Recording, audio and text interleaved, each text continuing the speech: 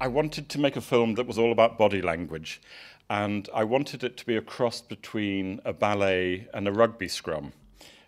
And I think it sort of happened. Um, to do very physical action in stop motion is complicated and does slow you down. And the schedule was 10, uh, well, it was about 12 seconds a day, which was quite hard work.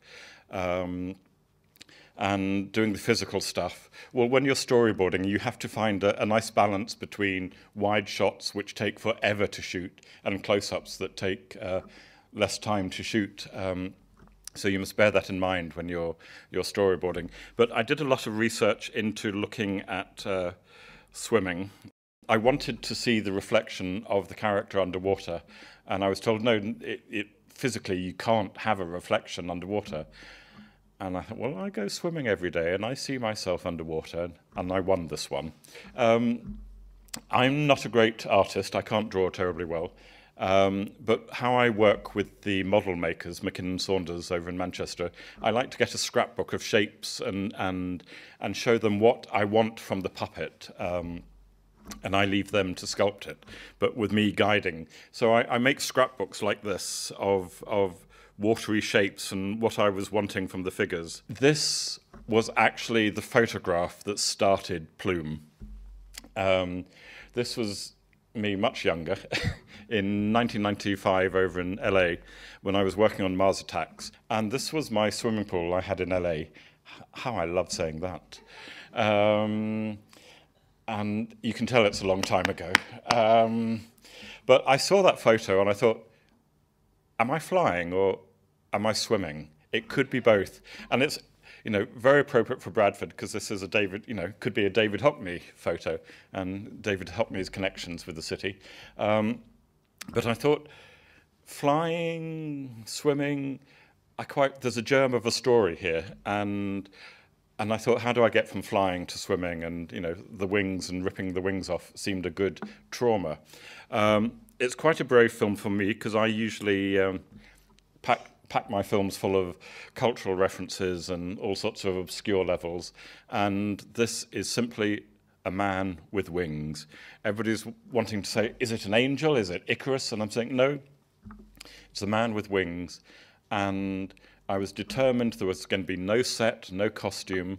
Um, it was just a man with wings, and he loses his wings.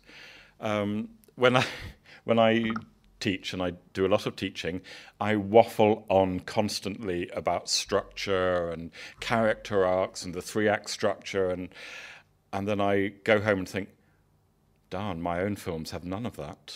Um, and I thought, but what I'm really pleased about Plume is it has the perfect three act structure, students. Um, if you want to write a good film, set up stasis, where the character is in his element and his character, you know, what he wants, he wants to fly. That's what drives him. Uh, that's Act One. Act Two, complicate it, which is an understatement in this point, where he meets the shadowy characters and is raped, for want of a better word, and loses his uh, his wings, but he still wants to fly. And Act Three is the resolution where he he completes his journey, he reaches his goal, which is flying, but it's different. It's flying underwater. And I'm very pleased with the structure. I'm very pleased. I, I tend to work out things in such detail. Um, there is no set. Uh, and I thought it would be very easy to confuse the audience uh, where we were, whether we were looking up, looking down, whatever. So I made sure there was feathers on the floor so we could see the floor.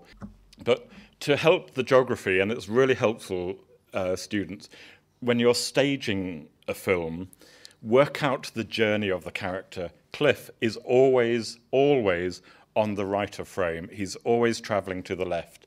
And the audience, you know, they don't have any set to uh, help them but Cliff is always on the right, traveling to the left.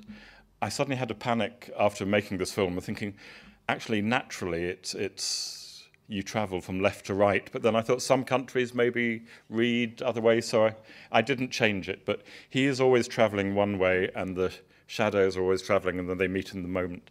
Um, and there's a nice symmetry of him, a white figure falling from the black one way, and then a dark figure falling against white at the end. And I love, you know, I would say to students, use structure, use colours. There's only a glimpse of red in that film. Um, don't be frightened of, of enjoying enjoying those elements that tell a story. Um, composition, sound, music. There's some good sound effects in that of breaking celery. it was good.